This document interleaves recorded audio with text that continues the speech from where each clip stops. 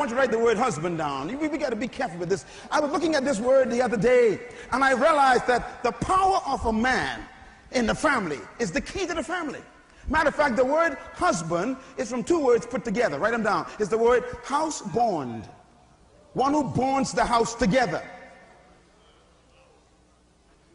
If you are the husband, your job is like glue. You're supposed to glue the whole family together. You are responsible for gluing the family together.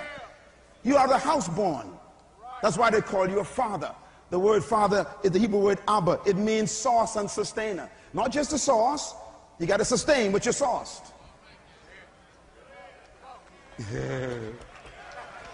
That's my baby. Good. Are you paying for the school of that baby? Are you feeding that child? Oh, by the way, did you know that women are your baby too? God did not take women from the soil. He went inside the male and pulled out a female. That's what I like about God. In other words, the male came out of the male, but he built the male to make it a female. So a real female is a female because she has a womb to carry the fetus. You are a female if you get a fetus capacity.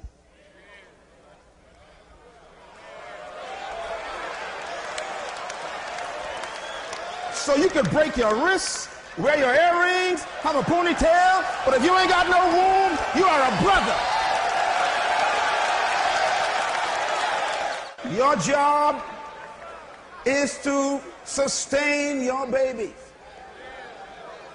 The woman came out of man, not man out of woman. Paul was clear. That means the female in your life is your baby. That's why it's natural for man to call his wife baby.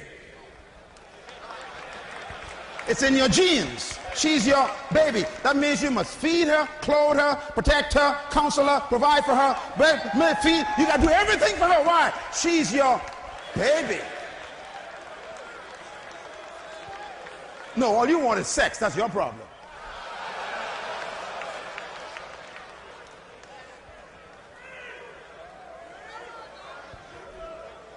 The house should be bonded together by the house bond.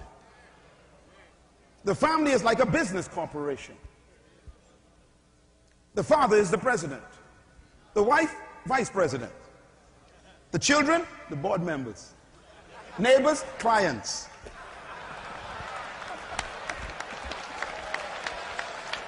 Now, look at those words carefully. You are what? The president. That means you preside. You don't own or control. You preside over the house. Who's your wife? Vice president. That means you don't act without getting advice from your wife as well.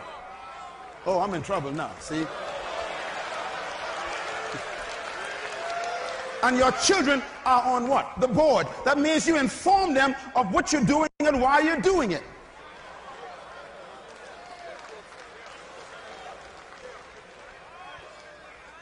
If you're going to bond the house together, it has to be a corporate effort.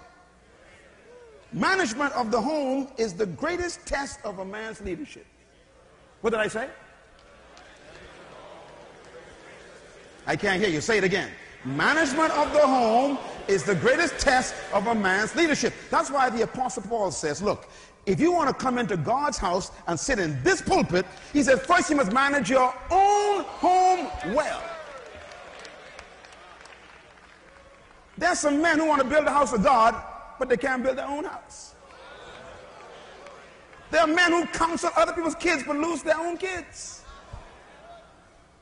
Some men spend more time with other women than with their wives. And they call it counseling. Y'all don't get quiet on me because I'm going to walk right down there and talk to some of y'all.